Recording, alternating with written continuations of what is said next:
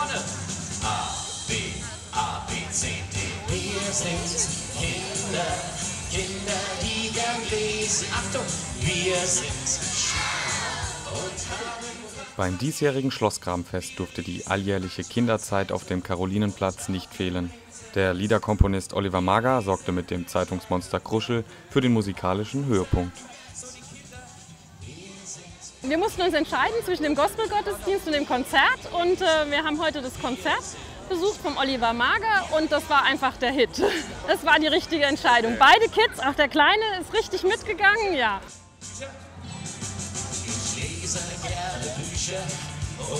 Ja, ist ein voller Erfolg und wird eine schöne Erinnerung bleiben.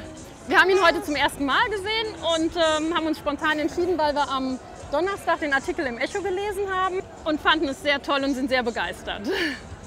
Und ein Zauberelefant, der singt und spielt Klavier. Die Hand nach vorne.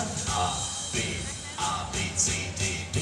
Also wir haben heute einen normalen Familienausflug und der Kleine macht jetzt, der ist erst drei und der macht keinen Mittagsschlaf mehr und dann äh, haben wir von Freunden gehört, dass es heute hier ist und haben deshalb gedacht, wir schauen uns das mal an. Manchmal Zeitung und auch im Internet.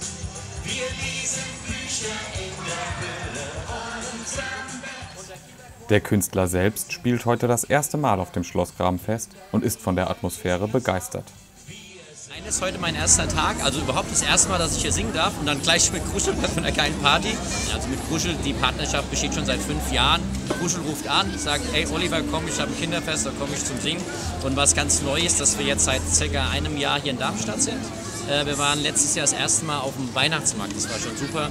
Aber heute hier, bei der Atmosphäre, es war halt monstermäßig.